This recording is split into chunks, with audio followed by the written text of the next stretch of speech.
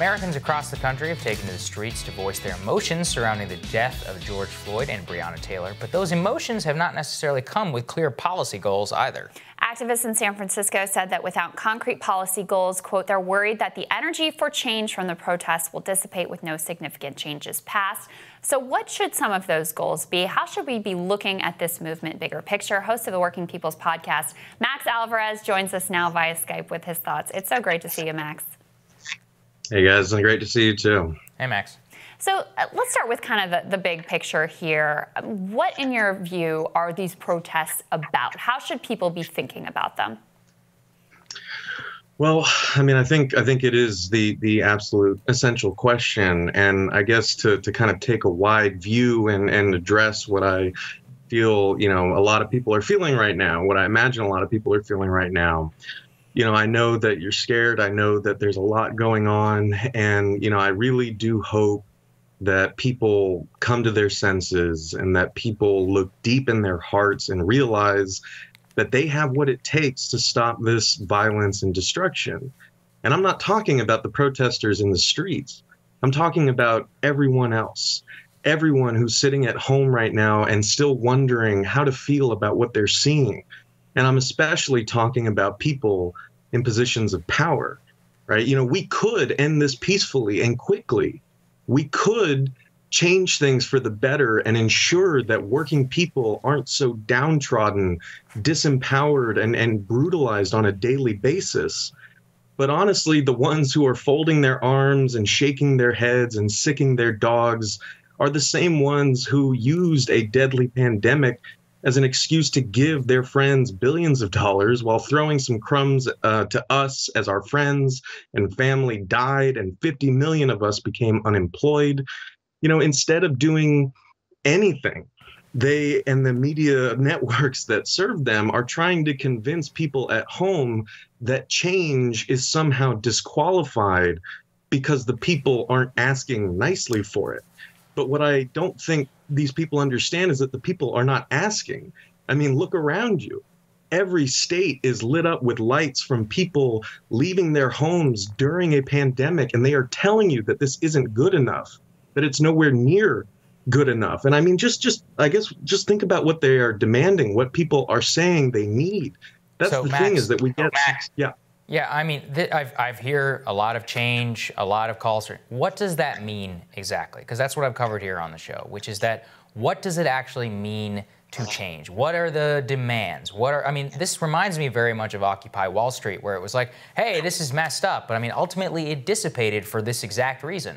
So what what is it that the protests want?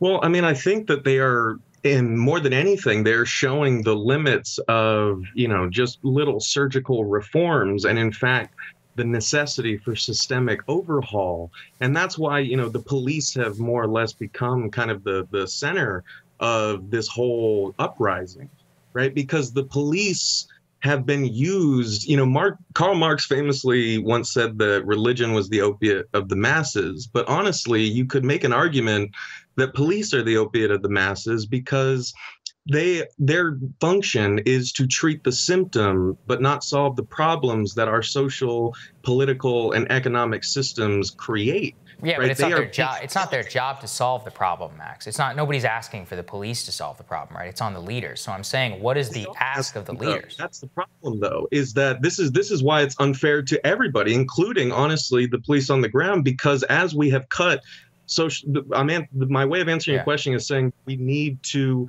address the problems that um, require police to you know um, police poor black and brown communities right? The problem we need to see like economic and social justice um, overhauls as part of treating the problem that we normally just rely on police to manage. We normally rely on police as a kind of after the fact solution to to manage the pain you know that our political and economic system causes and we thus like like you were saying Saagar we we kind of push all these roles onto the police. We essentially turn police into social workers with guns, and clearly that is not working. Clearly, we need better um, systems for protecting working people. We need um, systems that don't just look at impoverished communities and say like there's more crime there so that's why we need more police there I mean, there's also, you know, maybe there is more crime, but there's also a need for water systems that don't poison people, like in Flint. There's also a need for better schools and good paying union jobs, but we don't give those communities those things. And that's the problem is that we think of um, beefing up police again as a system of pain management as the way to deal with these kind of systemic problems. And I think instead of just trying to tweak the ways that we approach policing, we need to think of the reasons that we rely so heavily on police to manage the pain that our system creates so that we yeah. can continue yeah. walking on a broken mm. foot. I think that's really important perspective and really well said because the police don't exist in a vacuum, right? They exist within a system that has essentially dehumanized you know, a large swath of the population, which is something that we've talked about here a lot. I mean, in my view, one of the major divides in the country is between those who are treated with humanity like full human beings and those who are not. So if you are just focused narrowly on, okay, let's have everybody wear body cameras, for example, you're missing the structural issues that create the policing system that we have. I also think that there's you know, it's it's tough because what you're talking about, what I'm talking about, is not something that you can just like write a law and here you go, and now we're good to go. The system is so structurally screwed up that it's not that simple and easy that you can just have like a task force and a list of changes and here you are ready to go. But that doesn't mean the protest is invalid or that the, that fight is invalid or that it's not something to push for as a, as a sort of lifelong effort to move more in a social democratic direction where people would feel their economic rights are secured, their dignity rights are secured, their basic fundamental freedoms are secured. That is the sort of radical ask at the center of this is just let's treat out let's have everyone in the country be treated with dignity.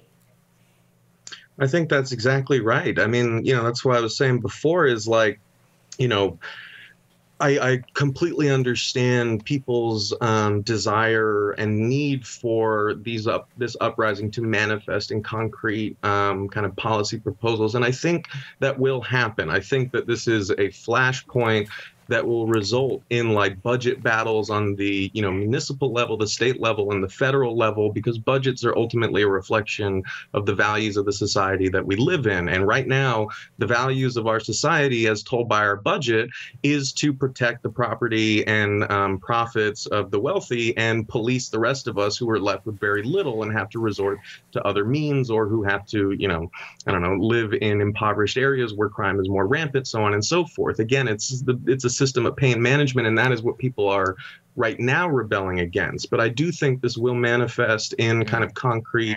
Um, like I said, budget battles, concrete discussions, you know, within communities about, you know, how much we have come to rely on police, how much we need to, in fact, rely on other services, whether those be community provided services, social worker provided services, economic sustenance for communities who should never have to feel this way again.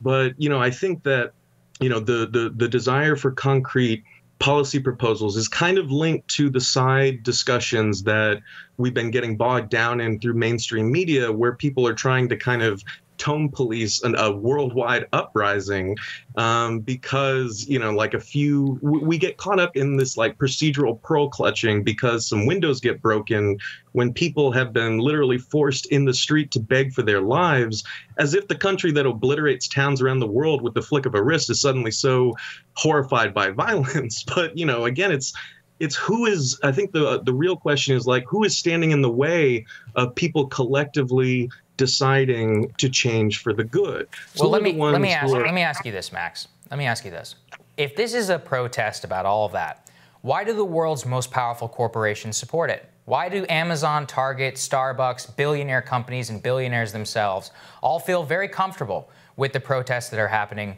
right now. I mean, you keep saying mainstream media is tone policing. I don't know what mainstream media you're watching because I see Don Lemon, who's cheering on this stuff, very much against any sort of increased law enforcement deployment. And frankly, like much of what you're saying just doesn't square with a lot of what I've seen.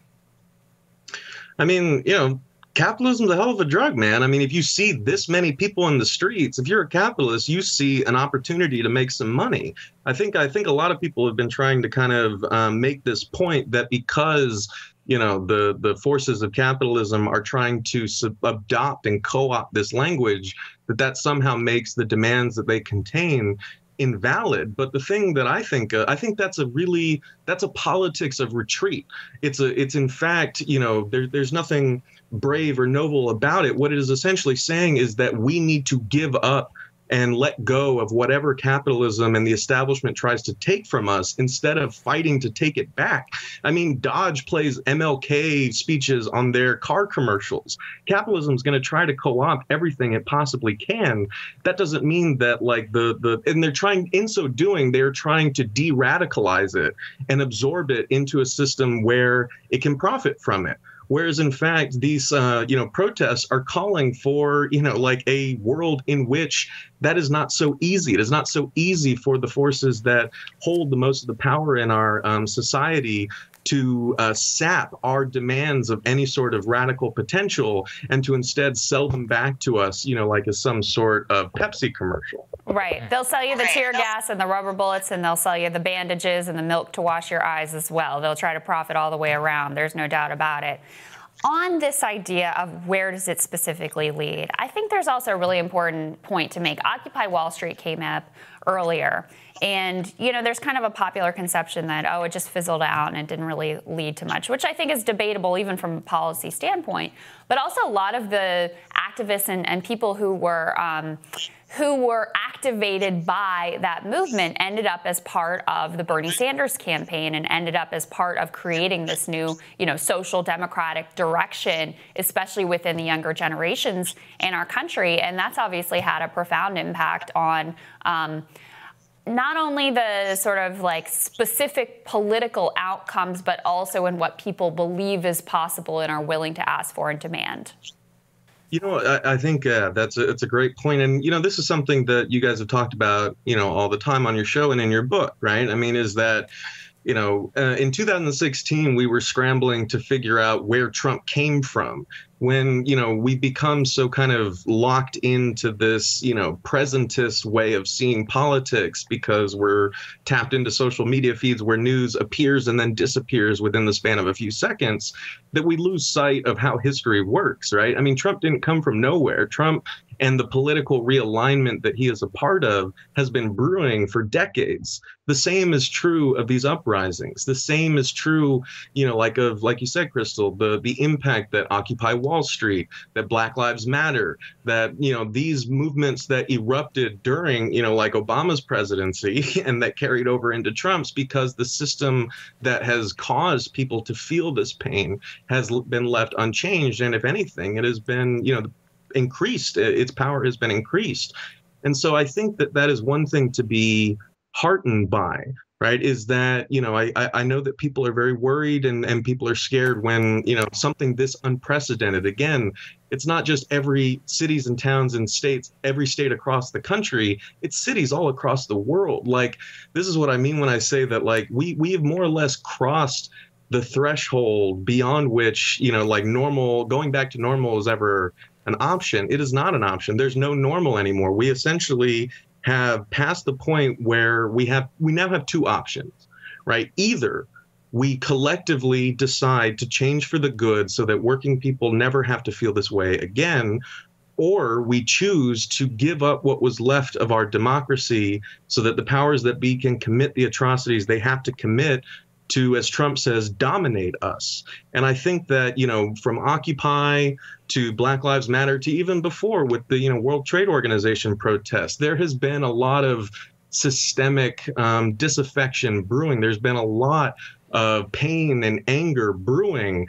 And it took a pandemic and all the kind of, you know, horror that that has unleashed to really push people over the brink and they're not going back and i think that uh, if anything i hope people just realize the, the gravity of the situation and realize the importance of solidarity and of believing in a kind of collective social hmm. solution mm.